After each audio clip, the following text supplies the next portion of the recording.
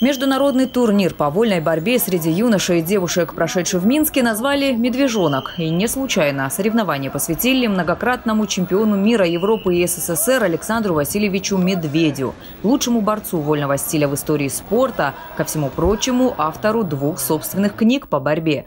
По ним, рассказывает тренер сочинской спортшколы, он и обучает своих воспитанников спортивному мастерству.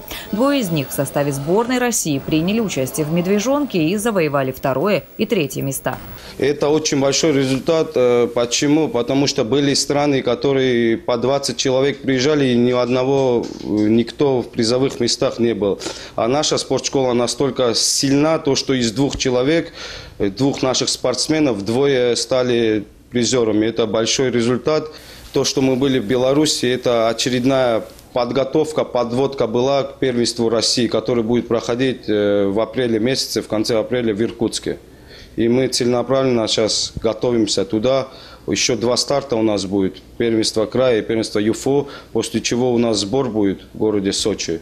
И мы сформируем команду и поедем в Иркутск на первенство России. Призеры международного турнира бронзовый Самвел Терзян и серебряный Спартан Петросян перед главным стартом страны планируют сделать выводы и взять реванш. Провел пять схваток, финал вышел, в финале чуть не хватило, тактически не так борьбу поставил, занял второе место. Ближайший старт у меня э, Южный федеральный округ, к нему я сейчас готовлюсь, чтобы занять первые места и попасть на Европу, на мир. Я уступил с минимальным счетом э, за выход в финал соперника. Ну, за третье место собрался с мыслями и выиграл эту схватку стал третьим. Этот турнир был одним из этапов подготовки на первенство России – где дает нам возможность попасть на чемпионат мира и на первенство Европы. Уже сегодня сочинские борцы снова в пути. Отправились на первенство Краснодарского края, где и будет формироваться сборная для участия в региональном турнире.